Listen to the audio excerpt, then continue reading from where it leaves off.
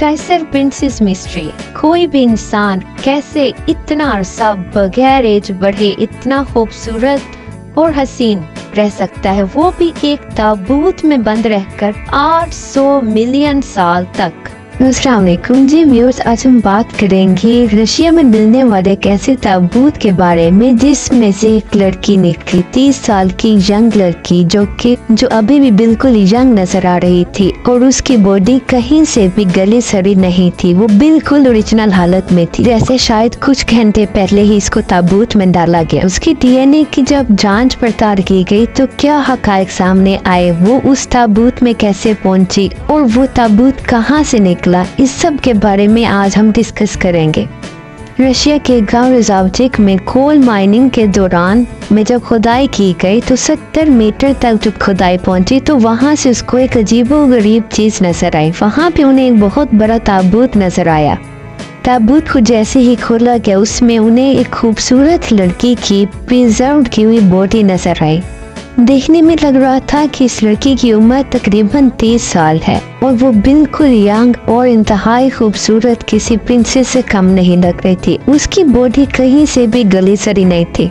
उसे देख के लग रहा था कि शायद अभी इसे ताबूत में डाला गया। ताबूत के अंदर उस लड़की के अलावा एक और हैरान कन चीज़ भी थी। उस ताबूत में रेड पिंक कलर का एक लिक्विड मौजूद था। कुछ लोगों ने उस लिक्विड को हाथ लगाकर जबान से टेस्ट किया और फिर वो तकरीबन दो हफ़्ते तक क्रेजी हुए रहे। लड़की की खूबसूरती और उसके फीचर्स शो कर रहे थे कि शायद वो यूरोपियन की रहने वाली है। उसकी ब्लू आईज ओपन थे। डार्क ब्राउनिश कलर के उसके कर्ली हेयर्स थे। उसके बाजू बिल्कुल बारीक और उसकी उंगलियाँ बहुत पतली थी। स्नो वाइट कलर ड्रेस में वो बिल्कुल ट्रांसपेरेंट नज़र आ रहे थे। वो बिल्कुल फेरी टेल की स्लीपिंग ब्यूटी लग रही थी। ये ज़ाहिर कर रही थी कि शायद ये मरी हुई नहीं है, बल्कि ये सिर्फ़ और सिर्फ़ सोई है, वो भी खुली आँखों के साथ। इस ताबूत को बहुत से लोगों ने देखा। माइनर के मैनेजर अलेक्जेंडर मजेल्डन ने फौरी तौर पे हेडक्वार्टर से रबता किया और उन्हें बताया कि उन्होंने एक मेडिकल फाइंड आउट किया है। कुछ ही देर में हर तरफ़ न्यूज़ फैल गई कि स्लीपिंग ब्यूटी मिली है। बाद में इसे स्लीपिंग ब्यूटी को टाइसर प्रिंसेस का नाम दिया गया। और कुछ ही लम्हों बाद बहुत से फायर फाइटर्स और हेलीकॉप्टर जो है वहाँ पे पहुँच गया। जो लोग ताबूत के साथ खड़े थे, उन्हें फौरी तौर पर वहाँ से हटाया गया और उनको लेबोरेटरी में भेजा गया ताकि उनका एग्जामिन हो सके, उनको कोई नुकसान ना हुआ हो। ताबूत को हेलीकॉप्टर के ज़रिए बांधा गया ताकि इसको लेबोरेटरी में तक पहुँचाया जा सके, लेकिन ताबूत का वज़न इतना ज़्यादा था कि उसे उठाना मुश्किल था, जिस वजह से उसका पिंक लिक्विड जो है वो निकाला गया। जैसे ही पिंक लिक्विड को ताबूत से निकाला बॉडी ब्लैक होना स्टार्ट हो गई। तो फौरी तौर पे जब दोबारा से उसी पिंक लिक्विड को ताबूत के अंदर डाला गया तो वो बॉडी जो बिल्कुल ब्लैक होने लगी थी, वो फ़ौरन से दोबारा अपनी असली हालत में वापस आ गई। और वो लड़की, हसीन तरीन लड़की जो थी, वो दोबारा से अपनी असल हालत में पिंक ब्लूइश चिक्स के साथ अपेयर हुई। इसलिए उस ताबूत को ऐसे ही जो है वो सील किया गया और सील करने के बाद उसे हेलीकॉप्टर के ज़रिए लेबॉर्ट्री तक पहुँचाया गया। लेबॉर्ट्री में जब उस लड़की के डीएनए को टेस्ट किया गया तो बहुत हैरतंगेज बात सामने आई। डीएनए के टेस्ट से पता चला कि ये लड़की हंड्रेड मिलियन ईयर्स ओल्ड है। यानी इस लड़की के एग्जिस्टेंस डायनासोर पीरियड से भी ज़्यादा पुरानी है। इस चीज़ ने डार्विन की थेरी को भी रिजेक्ट कर दिया। फिर उस पिंक लिक्विड को चेक किया गया, लेकिन उसकी कंपोजिशन को कुछ भी समझ ना सका।